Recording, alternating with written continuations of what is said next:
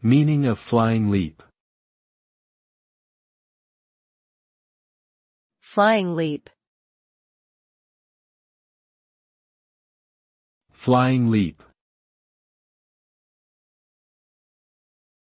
Flying leap. Flying leap. The phrase flying leap is an idiom that refers to a sudden, energetic jump or lunge. It is often used to describe someone taking a bold or daring action, such as taking a flying leap over an obstacle or taking a figurative leap of faith. The result of taking a flying leap can vary depending on the context. It could lead to success if the jump was made with precision and skill, or it could result in failure if the jump was poorly executed or taken without proper preparation or caution.